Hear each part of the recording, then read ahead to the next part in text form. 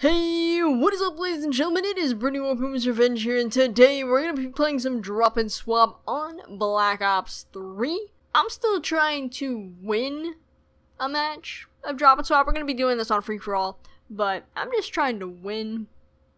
We're going to see how this goes. If you guys think this is a great idea, go ahead and drop a like down below and maybe even subscribe. Let's get started.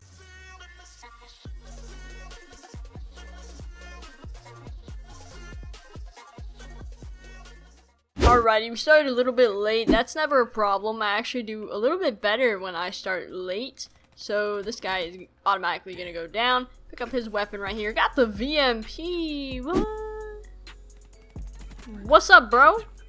Oh god, hold on. What? Oh god. Oh no. Oh no, I'm out of here. Oh no! Ow! Do you see the range on that? Oh wait, never mind, slap machine gun. Holy shit, this thing... That's a nice weapon. I want to have that weapon. Do you guys have that weapon? It's like a dope light machine gun that I could get used to.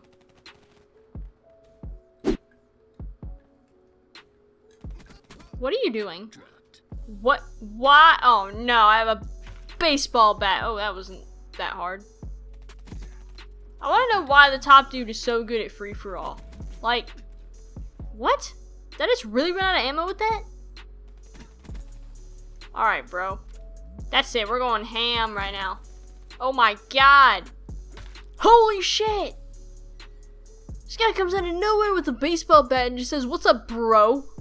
I'm just gonna die today. I hate this guy. No! Come back, ho.